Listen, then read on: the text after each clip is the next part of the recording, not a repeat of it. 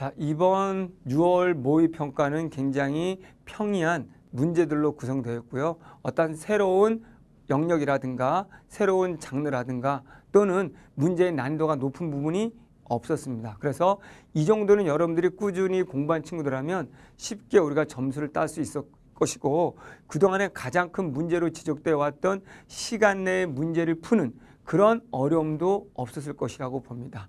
자, 그러면 전체적으로 본다면 화법 장문 변한 게 없습니다. 그래서 기존의 어떤 방식을 그대로 고수했고 특별한 내용이 없었기 때문에 어려움이 없었을 거라고 보고요.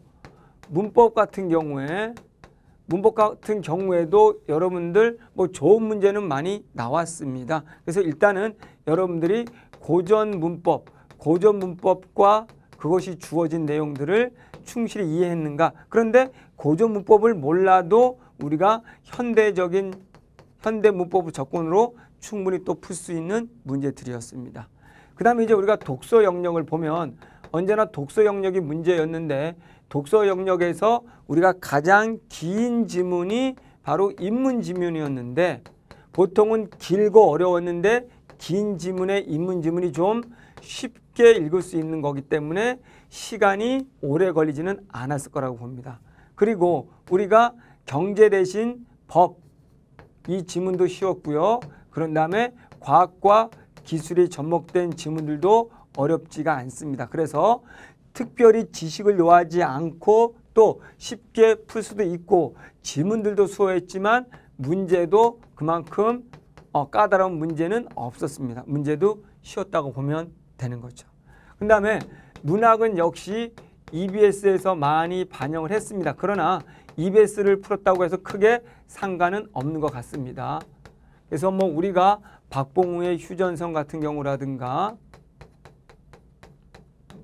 그리고 우리 고전시가 고전시가에서 서경별곡이라든가 또는 우리가 만분가 이런 것들은 전부 다 EBS에 있는 작품들이고 고전 소설에서도 우리가 온고집전은 다 있는 내용들이죠. 그래서 문학에서 EBS에 많이 반영해서 조금 더 시간을 줄일 수 있을 것 같고요.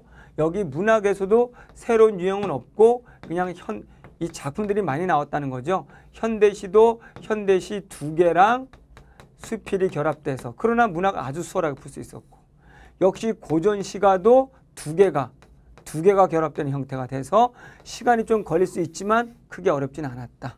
그리고 평이하게 어, 현대 소설과 고전 소설은 개별적으로 나왔으며 크게 어려움이 없었습니다. 그래서 요번 6월 모의평가로는 조금은 변별력이 좀 없는 것 같고요.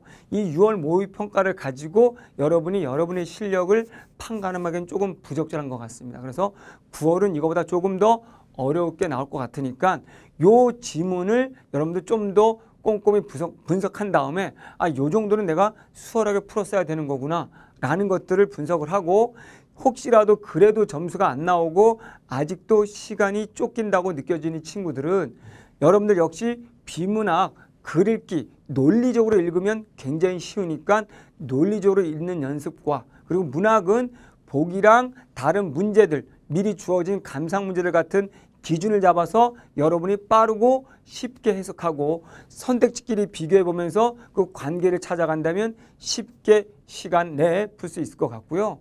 특히 문법에서도 글이 주어졌지만 그 글 읽지 않아도 문법적인 책의 이론을 어느 정도 갖고 있다면 사실은 필요한 부분 사례들만 지문에서 보고 선택지만 보고도 답을 풀 수 있었기 때문에 문법도 기본 개념을 꼭 가지고 계시고 그 문법 문제의 요지도 여러분이 단순히 문법 개념을 암기하면 못 풀도록 만든 문제이기 때문에 반드시 여러분들이 암기보다는 가장 근원적인 개념 이해를 통해서 낯선 사례들도 쉽게 풀어갈 수 있는 그런 능력을 키운다면 여러분 9월 그리고 수능은 충분히 모두 다 1등급 맞을 수 있을 거로 봅니다. 수고하셨습니다.